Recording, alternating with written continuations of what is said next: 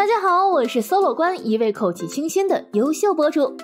二零一九年国际泳联世锦赛的男子三米板决赛中，英国选手杰克劳尔在领先三十一分的情况之下出现重大失误，两位中国选手在末轮实现大逆转，最终中国跳水梦之队拿到了本届世锦赛的第十枚跳水金牌，追平历史最好成绩。而奥运冠军曹原在获得第二名后，成为历史上第一位在单届世锦赛跳水比赛拿到三枚奖牌的选手。今天就让 solo 官带各位看官老爷去欣赏一下这场发生在水中的惊天逆转吧。老规矩，点赞、订阅加小铃铛，solo 官更新更积极。第一轮，杰克劳尔在第一跳选择的是五一五四 B 向后翻腾两周半转体两周，难度系数三点四。这位选手也是在里约奥运会上拿到了两枚奖牌，包括一枚金牌，是英国跳水史上的第一人。漂亮，杰克劳尔在今天的这场比赛当中绝对是金牌的有力冲击者。他在一九年的伦敦站上曾跳出过五百六十二分的历史第二高分。第一轮之后，杰克劳尔拿到了八十八点四零分。接下来轮到曹原，起跳的节奏还是不错的，表现也比较正常，但是在打开入水的时候有一点点往里低头了。因为我们可以看到这个水花没有压住，这是本次曹原在世锦赛比的第三场决赛，也是整个世锦赛当中最辛苦的一位选手。不管在今天的比赛里获得什么样的成绩，都将创造跳水的历史，成为在单届世锦赛上奖牌或者是金牌最多的选手。谢思义，哎呀，杰克劳尔的起跳状态可能也是给了谢思一种压力，走板的时候还是有一点点往前冲了。我们可以看到他的翻腾力稍微大了一点儿。不过没关系，还有后面五轮继续加油。本次单跳得分八十一点六零分，和曹原并列第四。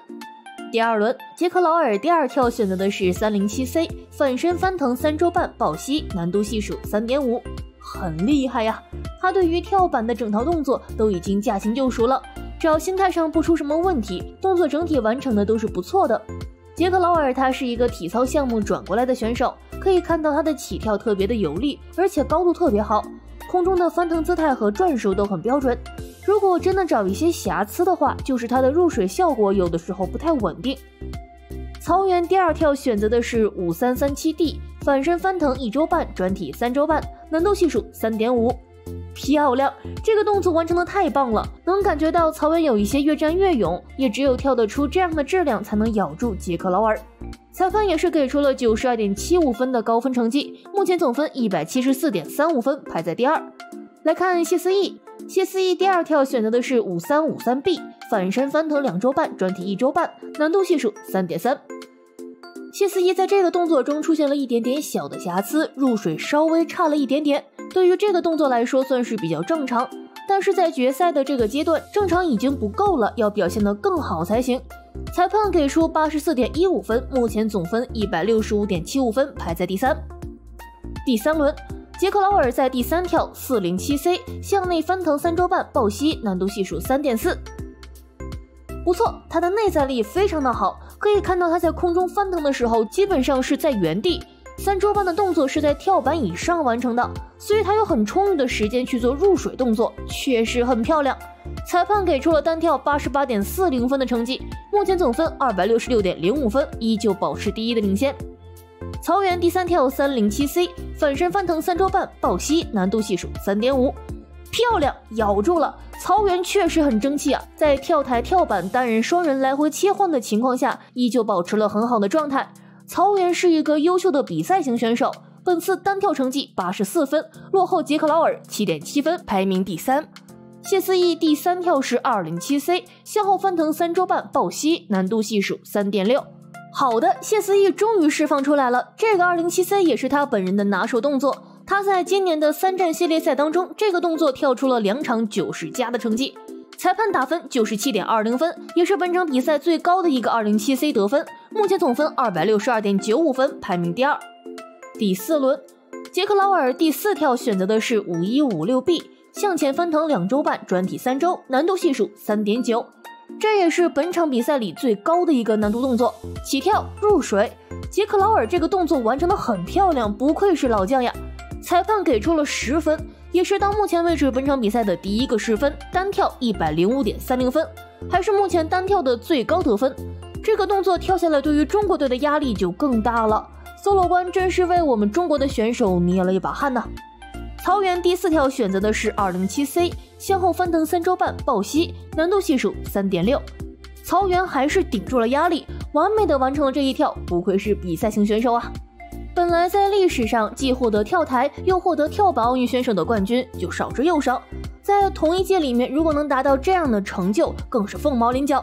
所以说曹原还是比较有天赋的，技术也很全面。这一跳，曹原拿到了九十五点四分，目前总分三百五十三点七五分，暂时超过谢思义，排名第二。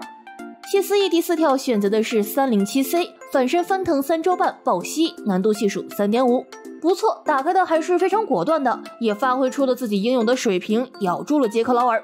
不能超过的原因是，由于杰克劳尔选择的跳水动作价值太高了，男子三米跳板这个项目历来竞争都是非常激烈的。裁判给出了八十九点二五分，目前总分三百五十二点二零，排在第三位。第五轮，杰克劳尔第五跳选择的是一零九 C 向前翻腾四周半抱膝，难度系数三点八，漂亮！杰克劳尔的整个动作翻腾速度很快，因此他在入水前就有很充足的时间去做调整，即便不看慢镜头，都能感觉杰克劳尔的空中时间很长，确实是强大的对手，值得尊重。这一跳，裁判也是给出了一百零二点六的高分成绩，目前总分四百七十三点九五分，依旧保持在第一的位置。曹原第五跳选择的是五一五四 B 向前翻腾两周半转体两周，难度系数三点四。可惜了，起跳有点前冲，入水的水花不是很理想。裁判给出了七十四点八零分，目前总分四百二十八点五五分，排名跌至第三。来看中国另一位选手谢思义。谢思义第五跳选择的是四零七 B 向内翻腾三周半躯体，难度系数三点七。这是今天比赛唯一的一个四零七 B 动作，并且也是谢思义最拿手的一个动作，经常可以跳到九十分以上。本次表现同样是很出色，裁判也是给出了九十点六五分的成绩，目前总分四百四十二点八五分，排名超过曹源，来到了第二的位置。第六轮，杰克劳尔最后一跳选择的是二零七 C 向后翻腾三周半动作，难度系数三点六。他是把自己最不擅长的动作放到了最后一轮，前五轮一直都是有比较大的领先。不过很可惜啊，这个二零七 C 动作出现了重大失误，现场的英国解说员直接一脑袋磕在了桌子上。这一跳，裁判仅仅给出了三十点六零分的成绩。跟随镜头，我们可以明显的感受到杰克劳尔的失落。之前的一路领先再次是功亏一篑了。曹原最后一跳选择的是一零九 C 向前翻腾四周半抱膝，难度系数三点八，漂亮，没有问题。这个动作的满分是一百一十四，曹原只要能跳到七十六分以上，就能帮助中国队锁定冠军的位置。裁判给出了八十九点三零分的成绩，最终总分五百一十七点八五分。现在可以确定，本场男子三米跳板的冠军一定是产生在中国队了。那么最终这个冠军将要鹿死谁手呢？我们跟随 solo 关来看中国选手谢思义的最后一跳。谢思义最后一跳选择的同样是一零九 C 向前翻腾四周半抱膝，难度系数三点八，